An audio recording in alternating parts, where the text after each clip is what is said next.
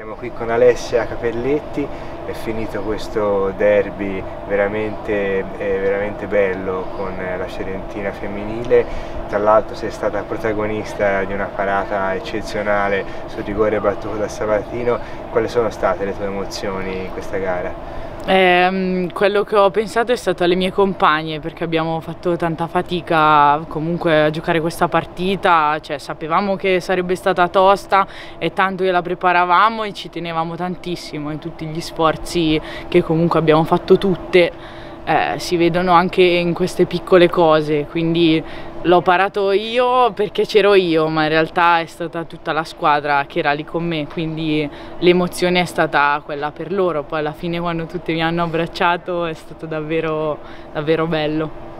Ecco, la tua stagione fino ad oggi come la valuti? Sei contenta di questo percorso che hai fatto? Mm, no, sono, sono, molto soddisfatta, comunque siamo quarti in classifica ed è un risultato ottimo.